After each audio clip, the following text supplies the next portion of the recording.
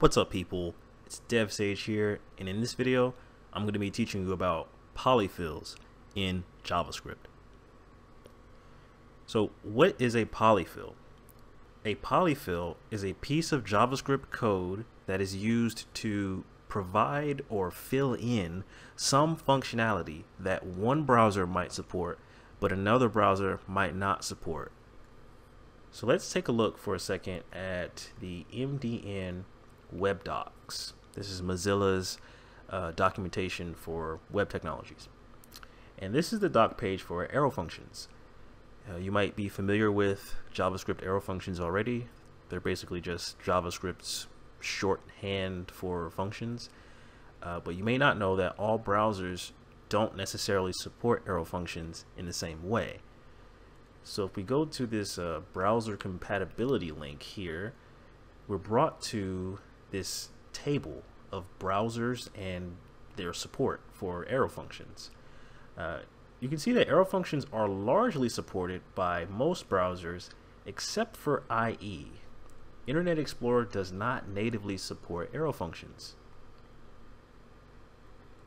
So let's take a look at another page. So if we go over here to the promise documentation, of course, if you're dealing with asynchronous JavaScript, you've probably encountered promises. Uh, let's take a look at its browser compatibility. As you can see, promises are also largely supported by a lot of browsers, except here's IE. It's not natively supported by Internet Explorer. So where polyfills come into this is a developer might write a piece of polyfill code in order to fill the gap here for IE.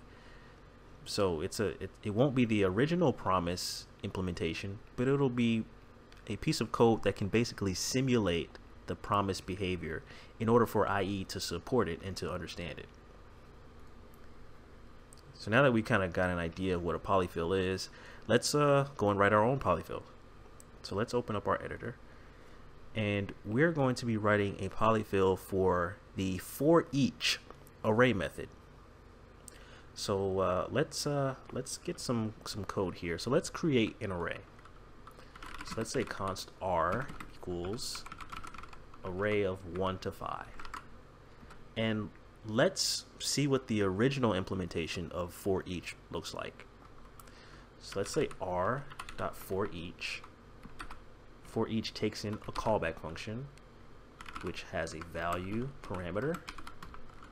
And in this callback function let's print out two times the original value in the array.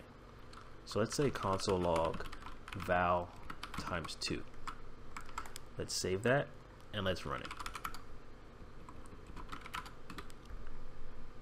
As you can see we have 2 4 6 8 10 so for each takes in a callback function, calls that callback function for each element in the array, and just does whatever that is. Simple enough. So let's pretend that we didn't have support for for each. Uh, so let's let's kind of simulate that. So let's let's say array dot prototype dot for each equals null.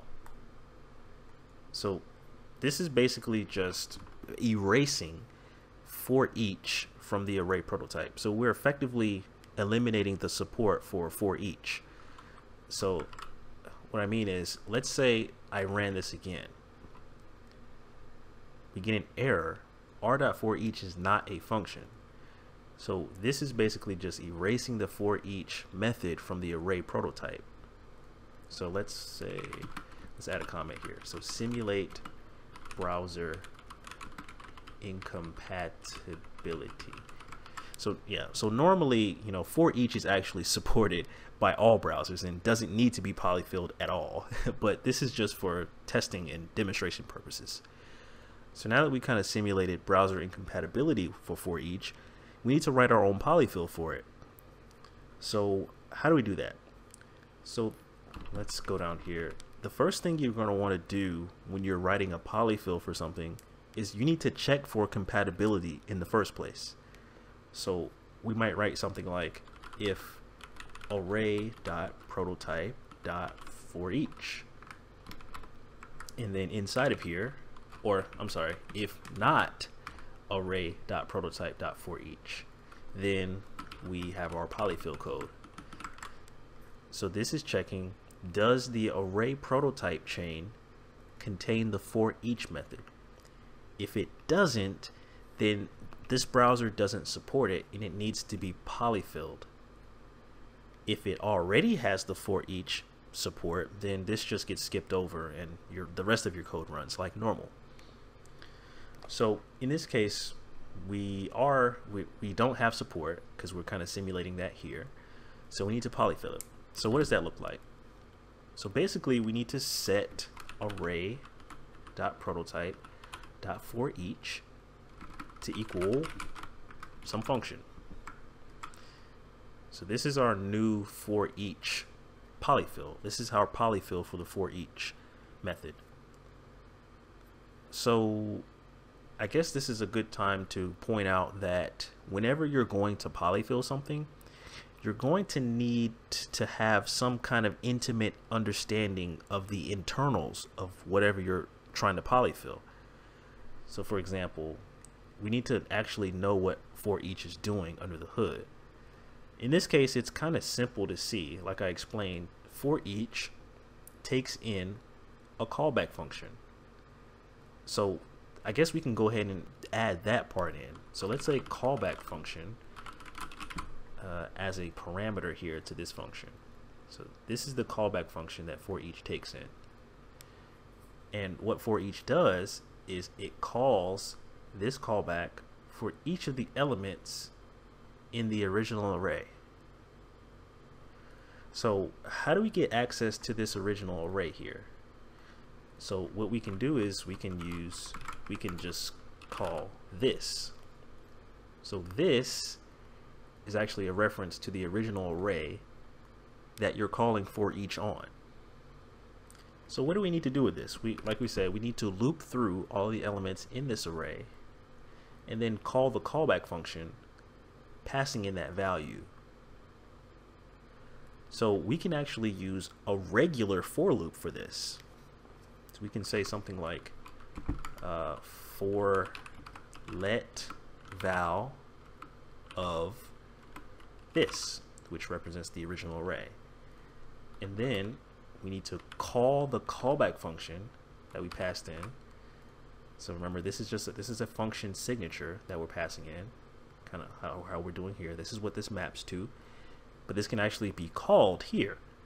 And we can pass in val. And then that way, we're going to loop through all the elements in the array and apply that callback function, whatever it is, to that value. So let's uh, let's go back and let's run this again. So let's see what it does.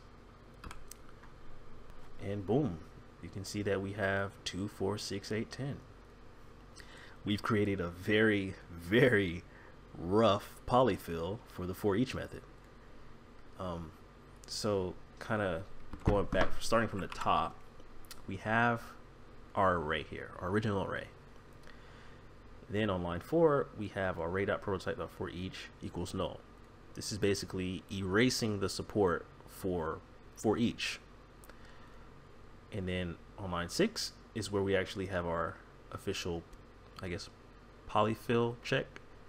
If for each is not supported, then we need to polyfill it.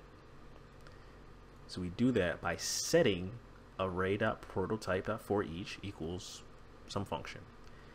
And this is where the actual specifics of the thing you're trying to polyfill come in. So we know that for each takes in a callback function like we have here.